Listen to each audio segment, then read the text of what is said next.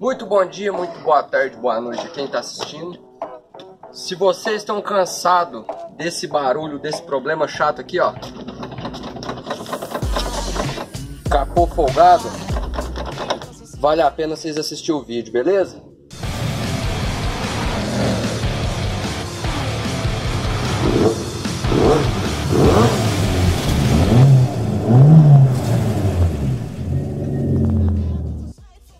Poder tirar a dobradiça, é, nós precisamos soltar o paralama aqui nesses pontos e ali embaixo também.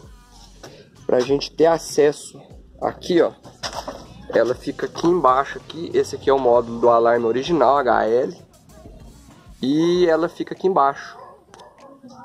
Ó, e são esses parafusos aí que deve soltar para poder estar tá retirando a dobradiça. Tá escutando a folga? Agora se vocês for observar aqui, ó, vocês vão ver que o cara colou uma borracha aqui, é, passou cola. Tem um arame aqui, ó. Tem um arame aqui amarrado aqui também. Não sei se está dando para ver a voltinha dele aqui, ó. E o que que acontece? Que ver, escuta o barulho, ó. Agora outra.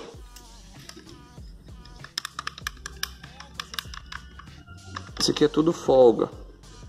Ó, olha esse pino aqui, ó. O que que acontece? Esses pinos são maleáveis. Como que eu tiro a folga? Usando a prensa.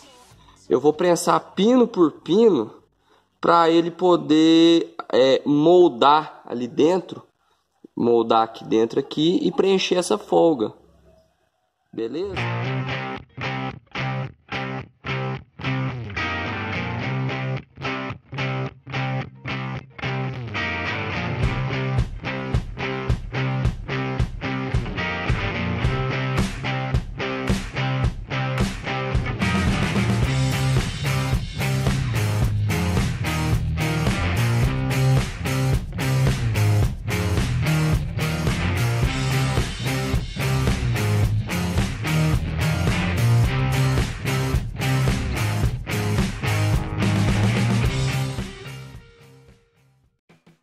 Olha aí, galera, ó. Eu aplico mais ou menos 5 toneladas em cada pino. Ó, eu já prensei esse, já prensei esse, o último é esse. E o cobaia era o meu carro.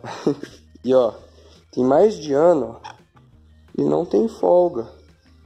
Não tem folga, ó. Na época, ele até me estragou a beiradinha aqui, ó. Se vocês olhar aqui, vocês vão ver que, que eu dei um toquezinho ali. Então, é, eu tô mostrando depois de anos aí que eu fiz. E tô fazendo de novo para poder pôr no meu canal e mostrar para vocês aí. Aqui, turminha, eu vou tirar o arame que colocaram aqui. Ó, tava esse arame aqui. Eu já, já tinha cortado ele. Agora eu vou fazer na outra. Ó, ela fica molinha. Ó, ela tá molinha. Essa aqui que eu fiz, ela ficou pesada. Ó, eu não dou conta de mexer nela. Não dou conta. Ó, tá vendo? Ó, deixa eu ver se eu consigo fechar um pouco batendo. Muito pouco. Vocês vão entender por quê. Eu tirei todas as folgas dela. Agora vocês vão entender o que, que eu tenho que fazer. Eu vou lubrificar ah, os pinos aqui, ó para poder melhorar um pouco aqui, porque tá pesado, mas é assim mesmo. As dobradiças que eu faço, todas elas ficam pesadas no começo, porque não fica nada de folga. Depois, com o tempo, ela vai normalizando.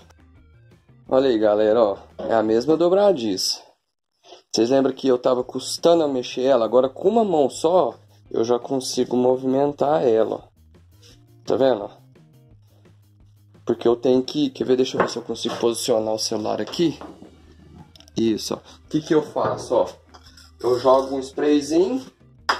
E eu pego ela e fica aqui, ó. Tchá, tchá, tchá, tchá, tchá, tchá, tchá, tchá. Pra ela poder ficar macia. Essa outra aqui, ó. Quer ver? Vocês vão ver que ela eu ainda não fiz nela.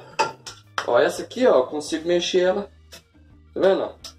Ela ainda fica dura, mas é porque tem que tem que pôr ela no carro que depois ela ela fica ela fica fica certinha, fica igual ao meu.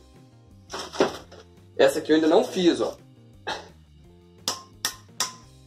Essa aqui tá pesada, tá dura. Vou fazer a mesma coisa.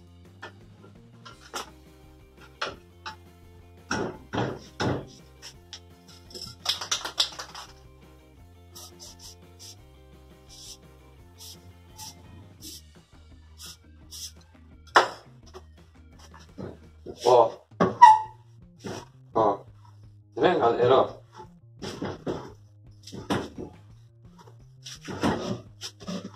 Ó, com uma... Aí, ó. Já ficou... Ó. Dois dedos, ó. Beleza? Isso aí é pra tirar a folga. Aí eu ainda tenho que, lógico, né, ó. Tem que fazer um pouquinho mais, ó. Ó, totalmente, ó. Pronto. Ó. Isso aqui vai parar aquela bateção do capô. E aí galera, beleza? Aqui quem tá falando é o Lucas. É, vou mostrar o procedimento aqui que o Gabriel fez no meu carro. Que ele tava com a folga no, no capô aqui, na dobradiça. Exatamente aqui, ó. Tinha uma folga aqui, ó. Como vocês podem ver, ele já fez o procedimento. E agora não tem mais folga nenhuma. Vou abrir aqui pra mostrar aí como é que foi feito. Meu carro ele tava na pintura e a gente tá montando ele aqui agora. Aí tinha que tirar essa folga da, da dobradiça, ó. Como vocês podem ver, ó, ficou bem firme. Ele fez um, um sistema de, de prensar aqui, ó, na, na, prensa, né, que ele usou e ficou top pra caramba. É isso aí. Falou.